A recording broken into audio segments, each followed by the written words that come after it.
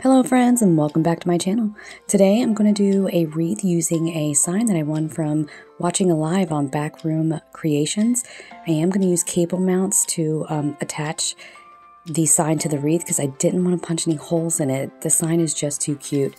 Right here I'm adding some pipe cleaners to a Dollar Tree wreath frame that I had and the next step is going to be cutting up my burlap and my deco mesh. I am going to use the ruffle method to add that to the frame.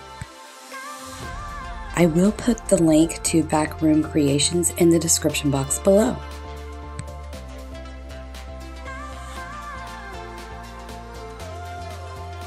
Here I'm just, like I said, I'm running my fingers right down the middle of the mesh and the burlap and ruffling them up and I'm going to add them to the frame using the pipe cleaners that I already added.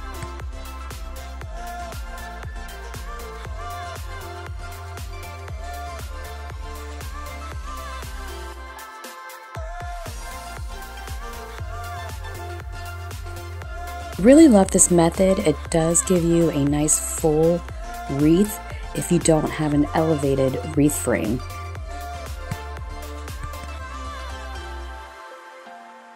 Next, I'm going to add my ribbons. I did cut up three different ribbons for this because there's a lot of color going on in the sign. I had a buffalo check plaid black and white. I had some red velvet and I had this beautiful lime green ribbon.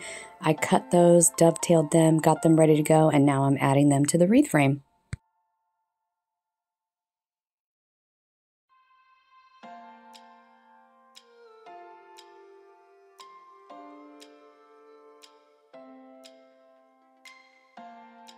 Next, I'm just going through and I am cutting off any extra pipe cleaners. I am trimming them off and then I tuck them back into the wreath.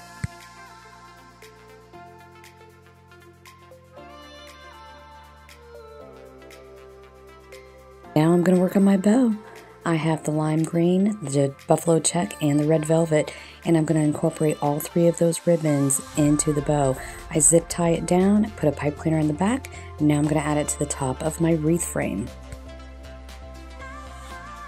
Next, I'm going to work on my sign. I did use the cable mounts on the back. They are glued down and they are secure. And I put pipe cleaners through them so that I have a way of attaching it to the frame of the wreath.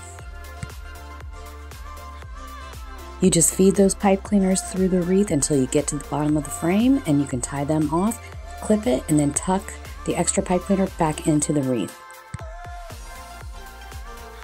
This is my completed project. I want to say a big thank you to Backroom Creations for the free sign, and I really hope you enjoy this video. Thank you so much for watching, and I will see you in the next one.